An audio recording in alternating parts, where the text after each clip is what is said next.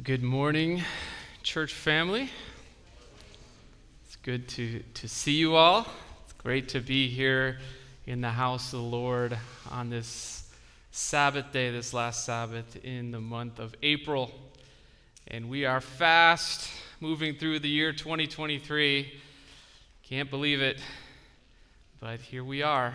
And, uh, and we're going through it together. So that's, that's the good thing, no matter what we may be dealing with in life. We are a family, and, uh, and I, I appreciate you guys.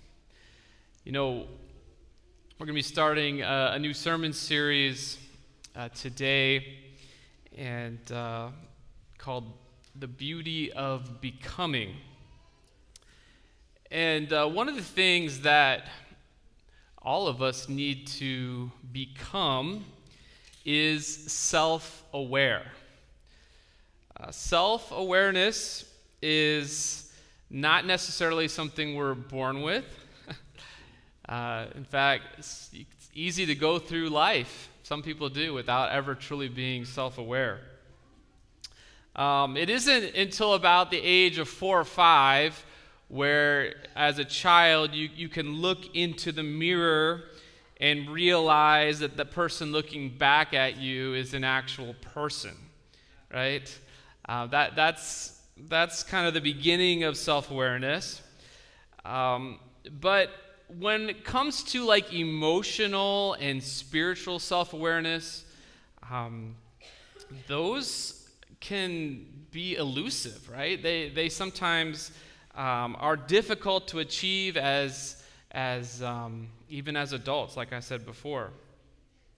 So, when, when, we, when I'm talking about self awareness, what am I saying? I'm, I'm saying when, when you're self aware, you kind of understand your strengths and your weaknesses of your personality, and you clearly understand the motives behind your behavior. You've sat down and you've, you've looked at everything you do and you've analyzed why you do it, and uh, there's been some contemplation there whether or not um, it's something that best suits you or, or, is helping you achieve your goals in life. So, so the sooner that you become self aware, the sooner you become to, I would say, experience uh, your, your true purpose, your true meaning of life. Um, and, and the surprising thing about self awareness, though, is that most people think they are pretty self aware. Most people would say, Yeah, I know myself. In fact, 95% of people actually, in a, in a study done by psychologist Tasha Eurich for her book Insight, uh, considered themselves self aware. But she found that the real number was nowhere near that. In a research, she said it was more around 10 to 15% of people at the most uh, have uh, achieved some level of self awareness. Um, and, and, most of us, probably about 80% of us, wake up every day and actually are living our lives on autopilot, right? We get up, we do, we, we, we, we interact, we go to bed, and, and we're on this, this kind of cycle, but we're not really deeply thinking about what we're doing or why we're doing it. Um, and, uh, and so this means we don't really understand why we react the way we do to certain things, why certain things really make us angry, why certain things really upset us, um, why, what certain things make us afraid. We, we, if we haven't done the work, we don't really know even ourselves. Um, but self awareness is one of the best gifts you can give to yourself, and especially the people around you. Because the more self aware you are, guess what? The more compassionate you are. That's what I've found, right? Because you realize that everybody has their things, just like you have your things. And the more you can understand why other people are the way they are um, in, the, in context with, with yourself and your own self awareness, um, you have a much more patience and compassion for other people even though they may be different from you. Um, and so, why, why is self awareness so important for the Christian? Um, Well, because the only one who can truly give us self awareness is God, right? Because He's the only one that truly knows who we are. Um, and, and, and the beautiful thing about God is He wants to give you that gift. He wants to give you the gift of, of a true self awareness, of knowing who you are. And the best way to know who you are, of course, is in a connection, in a relationship with Him. Um, but until that comes, we tend to live on that treadmill of, you know, autopilot, doing what we did last week, last year, 10 years ago. Probably not that much different. Paul said it too. He's like, hey, the things I don't want to do, those are the things I keep doing, and the things I don't, uh, the things I want to do, that's, that's what I don't do. So, you know, he, he talks about this, and, and, and it's like he's having this, you know, existential crisis here. He's like trying to figure out, you know, why am I the way I am? And his basic conclusion was that sin was, you know, the, the, was causing his, his blindness to himself. Um, and, and so, what we're going to be doing in this sermon series is really looking at these different steps that God has given us, that Christ has outlined for us in the Beatitudes, about how we can grow in self awareness, how we can grow in our relationship with Jesus, and the two actually go hand in hand. The more we understand ourselves in, the, in our relationship with Jesus, the, then our, our growth it becomes exponential. So um, let's begin today with a word of prayer. Heavenly Father, Lord, we thank you so much for the opportunity today to spend some time um, just reflecting on ourselves, Lord, and, and where we stand in your presence today, Lord. We, we want to grow, we want to become a better version of ourselves, but until we have that divine insight, until you open our eyes, uh, we are going to be blind to ourselves. We're going to be blind to the sin that controls us. We're going to be f- stuck and we're going to continue the same cycles that um, were passed down to us from our parents and their parents, Lord. But we want to grow past those, Lord. So I pray that uh, today will be uh, an opportunity to, to reflect and that your Spirit will teach us what we need to hear. This is our prayer in Jesus' name. Amen. Amen. So, uh, when I was in college, I was introduced to this author by the name of Andrew Murray. Uh, he was a contemporary of Ellen White. Actually, I think he was maybe a generation older than her. Um, well, he wrote a lot of, of books, but I think the best book or the classic that he wrote is a book called simply Humility. So um, if you're looking for a free book that is, uh, is amazing, that you can download um, digitally for free, I would highly recommend Humility by Andrew Murray. Um, in the, the beginning of the book, he has um, this to say about humility. Humility, the place of entire dependence on God, is the first duty of the creature and the root of every good quality. And you know what I was when I read that, it it really caused me to to really take a second look at, at humility. You know, we talk a lot about humility, um, but understanding it as the root or the beginning of all the other good qualities that we achieve in Christ is, uh, is a profound thought. You know, the root of all the graces, the, the root of all the, the fruits of the Spirit, uh, the root of, of, a, of a life of love is, starts in humility. Now, if you read the, the Bible, of course, you know that we were all given this gift at creation. I mean, if you look around us today, uh, all creation kind of has this kind of openness to God.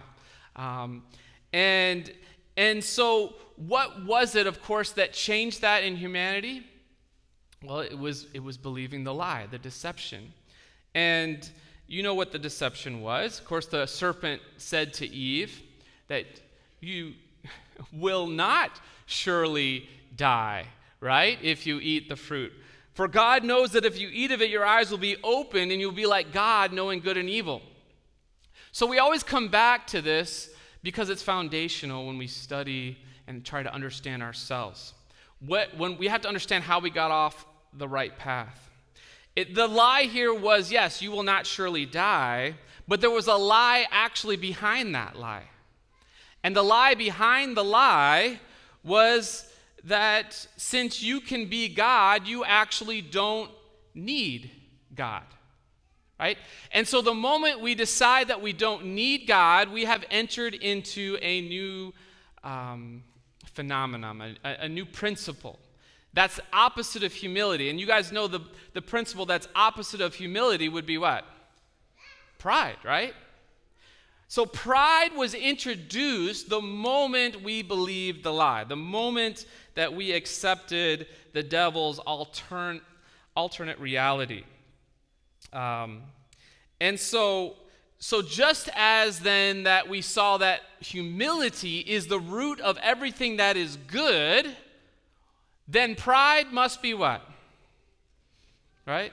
He says it in the same chapter. Murray continues. Likewise, pride, or the loss of this humility, is the root of every sin and evil. Right? So, so we, we, we, we can base, we can, we can um, bring uh, salvation, those who are saved and those who are lost, down to these two basic principles, right? Because we know that Christ exemplified in his life humility. Right? That, that was that is who God is. God is humble. It's amazing. An all-powerful God, omnipresent, all powerful, all knowing, he's also humble. Right? He's the one that gets down on his knees and washes your feet. He's the one who goes to the cross and dies for your sins, right? This is a humble God, right? A humble God who puts the needs of others above his own, right? Who's not afraid to, to uh, be interdependent. But we know that another power, another alternate to the one that God had set into motion, was introduced through Satan, right? And, and so the original sin was pride. And it's interesting because sometimes we, uh, we allow pride to go unrebuked sometimes, right? But a lot of times it's because we're not self aware, right? We're not aware that we're being prideful. So, how do we grow in this understanding of what the difference between being prideful and being humble?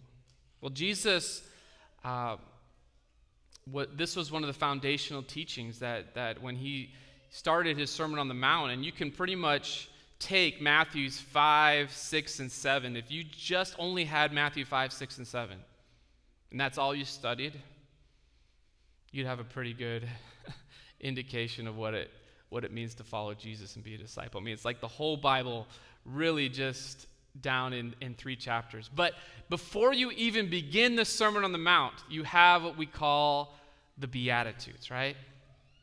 And, uh, and the Beatitudes are my favorite. I love the Beatitudes. Um, and you're going to see why as we go through this series, because every sermon in this series, we're going to be focusing on one of these Beatitudes. So, obviously, we're going to start with the first Beatitude, which is Matthew chapter 5 and verse 3. And you know this, right? Blessed are the poor in spirit, for theirs is the kingdom of heaven.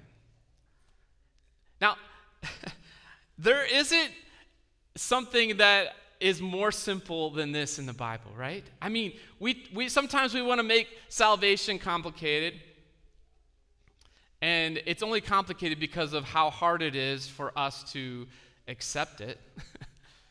but when we there and this isn't the only verse that's super simple, but this is this is one of my favorites because it, it's very simple because it says, Blessed are the poor in spirit. If you are poor in spirit, according to this text, according to Jesus, yours is what?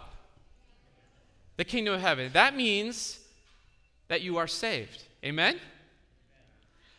So if you are humble, if you don't think that, that you're all that, but you are dependent upon God, you recognize that you need Him in your life, and you lift your heart up to Him, guess what? You've just entered into salvation. The moment that you recognize your need of God in your life, God, I need you. Guess what? God shows up. He's right there. His hand reaches right out to you and grabs you. Wherever you are, He pulls you up.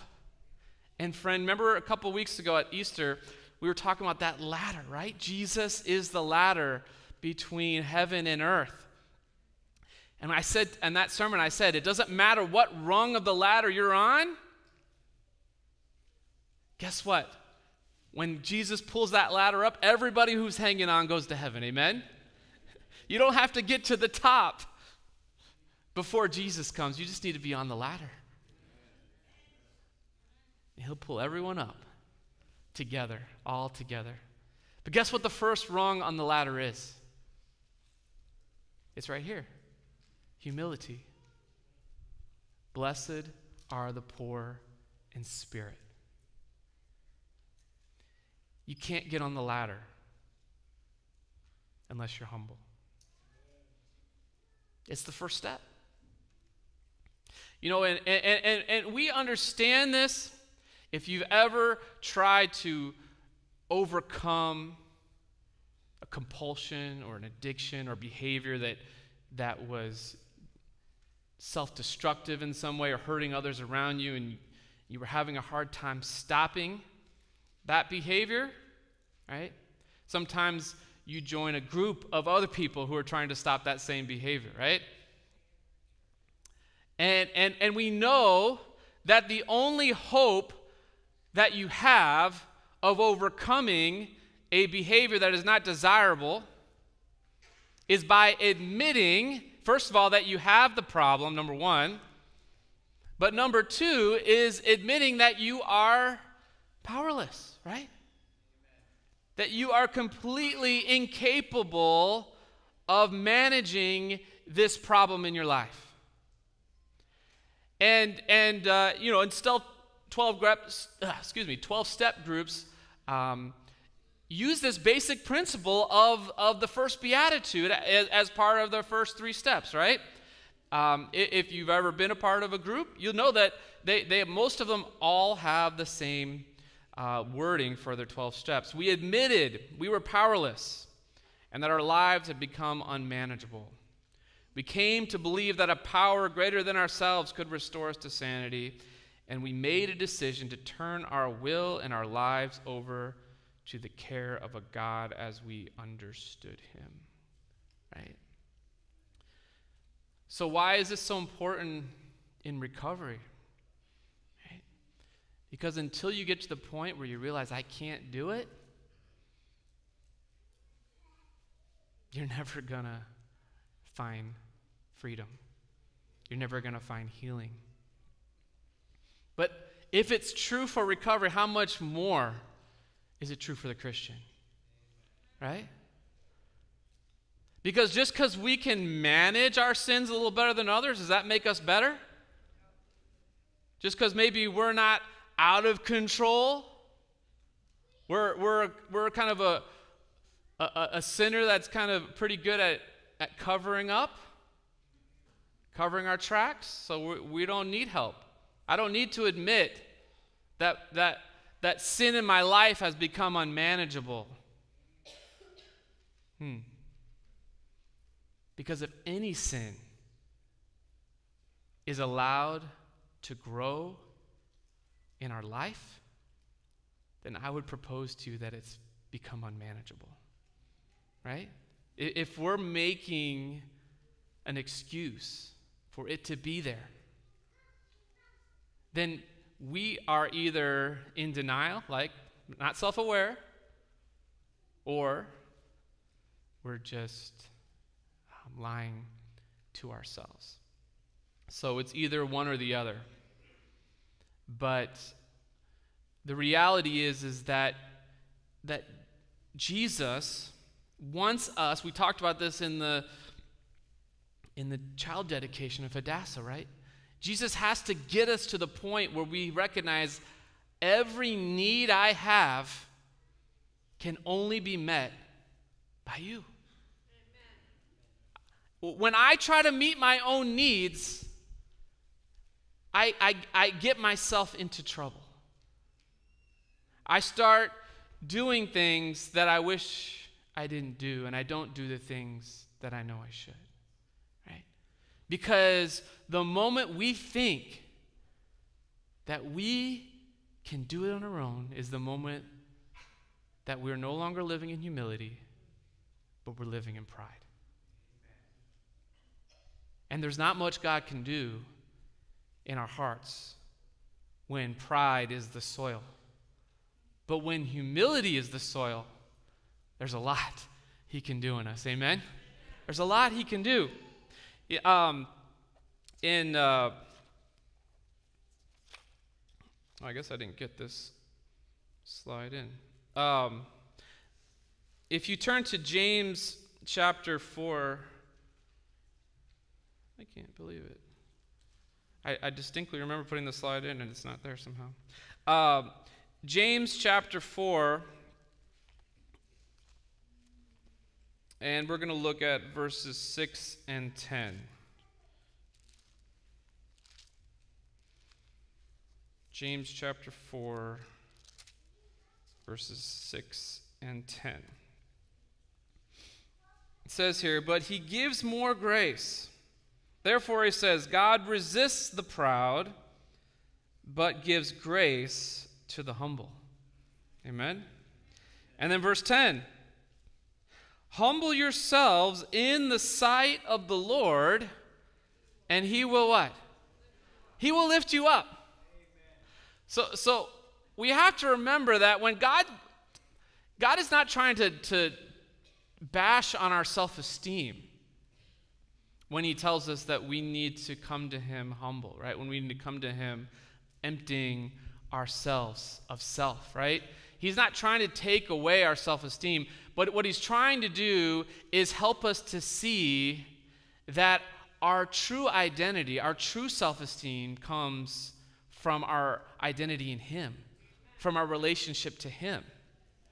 So, so he's, it's, it's, it's not that, that he wants us to go beating ourselves up with whips. So, oh, I'm such a bad person, you know. Because sometimes that can actually be false humility. You know that? Penance is a form of false humility introduced by the Catholic Church. But we aren't Catholic. But sometimes we act like it, right? Because when we try to beat ourselves, oh, I've been such a bad person. It's actually a form of pride. It's shame, right? Shame is like the other side of the coin of pride. Um, and, uh, and, and so it, it's, it's a way of, of trying to earn ourselves back into the good graces of God again. Oh, I'm such a horrible person. I deserve to be, this and that. So, so that, that's not where God wants you to be either. When, when we say humble, doesn't mean you have to go around saying negative things about yourself. In fact, I would highly discourage you from doing that, right? What you should say to yourself are the promises of God. What you should be saying to yourself are the words that God uses to describe you. This is my beloved son in whom I well pleased. This is my beloved daughter in whom I'm well pleased, right?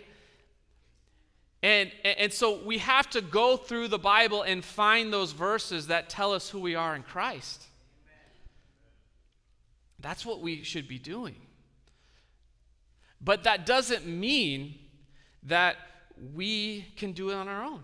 No. God resists those who think they can do it on their own. That's what he says. I, he resists the prideful, but he gives grace to the humble? How many of us could use more grace? right? But we're kind of working against ourselves.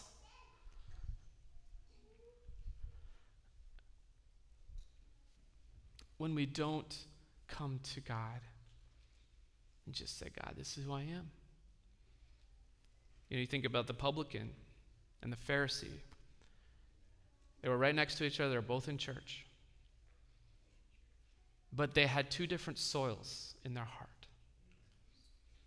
The Pharisee was growing his spiritual life in the soil of pride.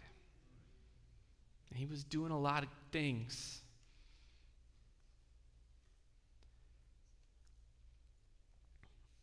But he was missing the most important, which is the recognition that he needed God in his life.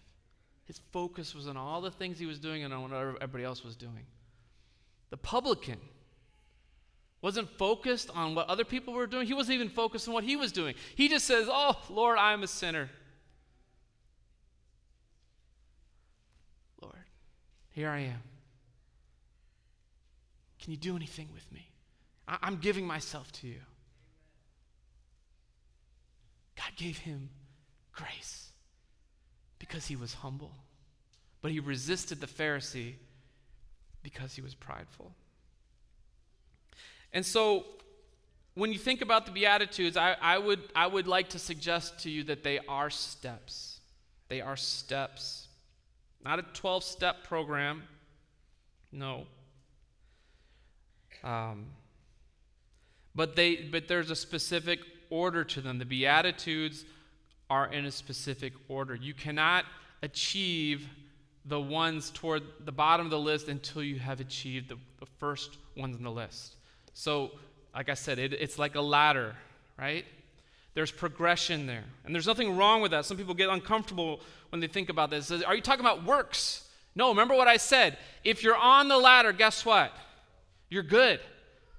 You're good, right? the problem is when you think you don't need the ladder anymore and you can find your own method to getting to heaven. But when you're focused on Christ and you're following his steps,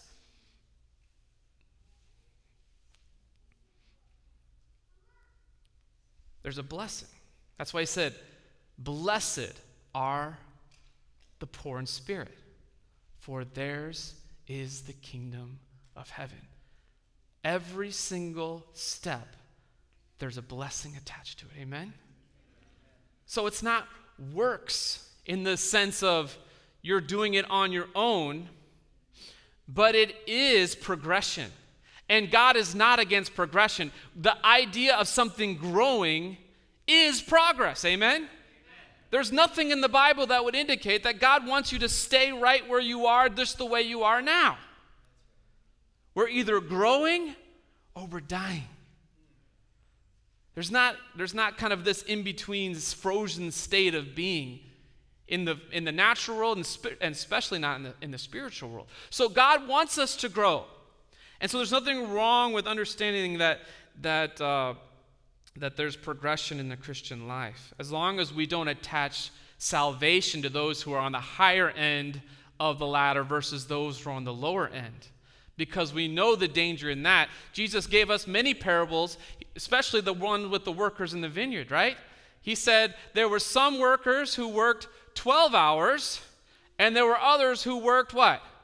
One, but what did they all get in the end? The same the wage, right? Because it wasn't by works. It was grace to be even allowed to be a worker. Grace was being called to be a worker in the vineyard. God didn't care how much you worked, how many grapes you picked. He just wanted you to go. and your acceptance of that, you're getting on that first round of the ladder, that's enough. That's enough. And so every step is grace. I love what Colossians chapter, actually, I think I have this one. Colossians. Oh. I had them backwards. All right. Now, now it makes more sense. Um, As you therefore have received Christ Jesus the Lord, so walk in him. Friends, think about that. I mean, before we keep going to that, as you have received Jesus, so walk in him, right? So it's there's never a point in the journey where it stops being grace and starts becoming works, right? We receive the grace of God through faith. Amen. Therefore, we also walk with Jesus by faith. Praise the Lord. Rooted and built up in Him and established in the faith as you have been taught, abounding in it with thanksgiving. Friends, that's what God wants for you. So, so in a way, we can see that, that true faith and humility are, are one. There can be no humility without faith, and there can be no faith without humility. Everything rooted in faith is rooted in humility. One cannot say they have faith while at the same time holding on to pride. Those are mutually exclusive to one another, and again, evidence that we are lacking self awareness. But when we take the leap of faith, admitting our lack, we become free to experience the life giving power of grace and acceptance of a loving God. Um, I'm going to recommend to you over this series that you pick up um, the little book, Christ, uh, excuse me, Thoughts from the Mount of Blessings. Um, and there, there's a quote on the, the Beatitudes, page 8 and 9, that I want to share with you. It says, All who have a sense of their deep soul poverty, who feel that they have nothing good in themselves may find righteousness and strength by looking unto Jesus. He says, Come unto me, all you that labor and are heavy laden. He bids you exchange your poverty for the riches of his grace. We are not worthy of God's love, but Christ, our surety, is worthy and is abundantly able to save all who shall come unto him.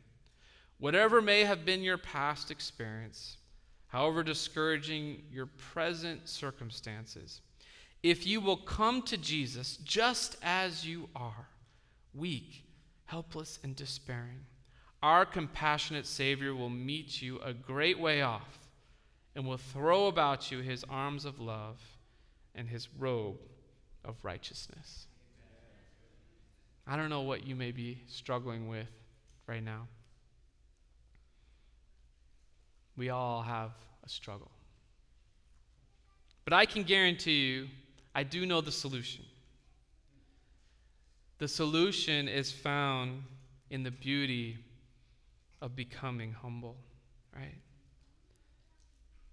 Not just by admitting that we can't, but more importantly, by admitting that God can. There's nothing wrong with saying I can't as long as we follow it through with, but God can. God can. There's nothing magical about faith. It's simply believing that God is who He says He is, and that you are who He says you are, and that He will do what He said He will do. Right? It's really that simple. But it has to be in that order. God is God. I am his creation, right? Therefore, I am dependent upon him for everything. And since I am dependent on him for everything, I can trust him to provide me with everything I need. because he said he would. And he has proven it over and over again. So, blessed are the poor in spirit, for theirs is the kingdom of heaven. Once you take that step, and it is a big step, but once you take it, the rest is possible. Not just possible, inevitable. So, will you do it? Will you take the step of faith today, admitting that you're powerless, but God is powerful? That you are weak, but He is strong. That you are poor, but He is rich.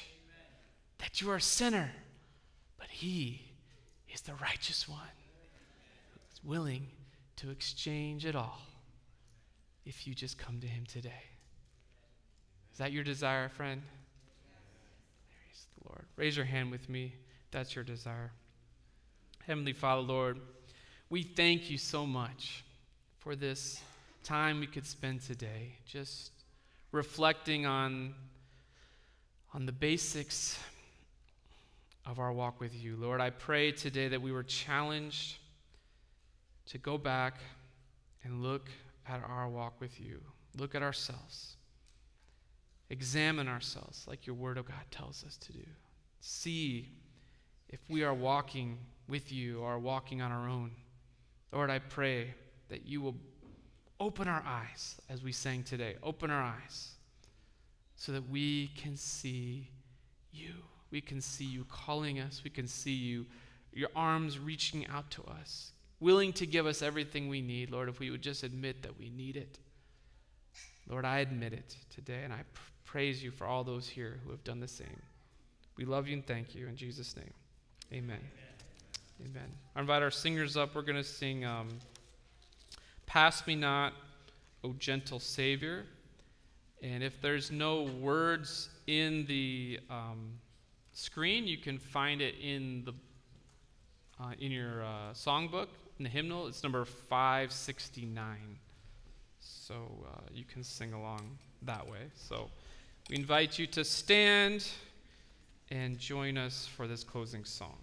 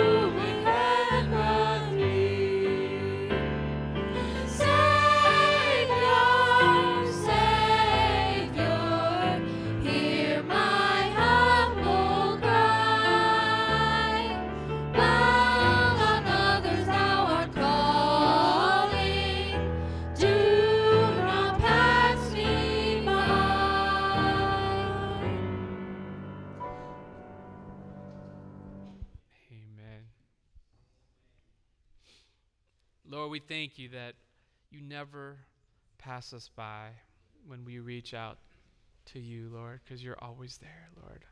Watch us over us now as we leave this place until we meet again. In Jesus' name we pray. Amen. Amen. Amen.